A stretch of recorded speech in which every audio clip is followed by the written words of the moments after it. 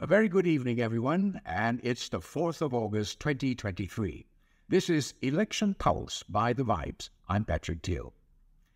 I'm sure all of us have heard of career politicians or long-time party members, right?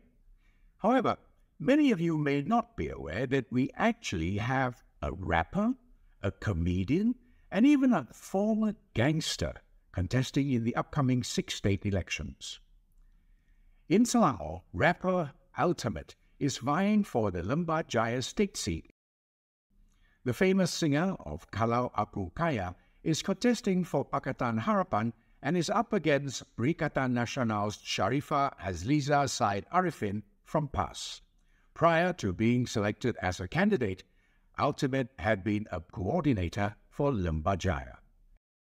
Another celebrity attempting to also get a seat in the Selangor State Assembly is comedian and actor S. Gana Pragasam.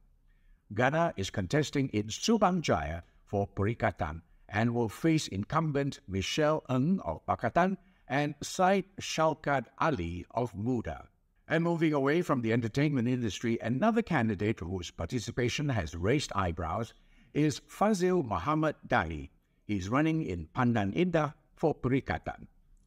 With the nickname Ayanda Chiton, he has been reported to have been linked to gangsterism in the past, but he has dismissed the matter as an old issue, now used as ammunition to tarnish his party. Fazil, who's a father of 15 children, is in a four-cornered fight against Pakatan's Izam Hashim, Muda's Liza Rizwan, and independent R. Siwaneswaran.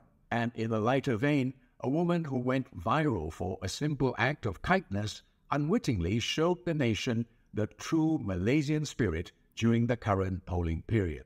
Two days ago, the Indian woman's daughter quietly recorded her feeding a blind Malay patient whom she did not know at a hospital in Sungai Petani.